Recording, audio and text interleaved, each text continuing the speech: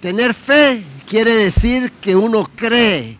Creemos en este proyecto. Creemos especialmente en que hay que defender la vida y la salud de las personas. Cuando las personas se tratan teniendo los primeros síntomas de un contagio, van a salir adelante y van a curarse y se van a aliviar.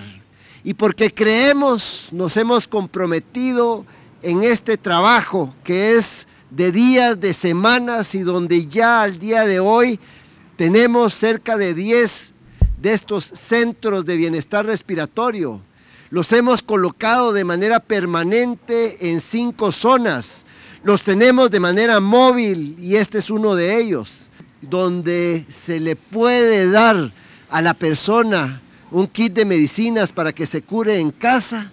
Atender a la zona 8, a la zona 4 es una prioridad en los momentos críticos es cuando más tenemos que unirnos, donde tenemos que encontrar causas comunes. La vida y la salud es la causa común. Y a través de estos esfuerzos, hoy venimos a decirles acá que traemos al Centro de Bienestar Respiratorio y con él un mensaje de unión, un mensaje de acción, un mensaje donde decimos que el que cree se esfuerza, el que se esfuerza se compromete y el que se compromete cumple. Muchas gracias y muy buenos días.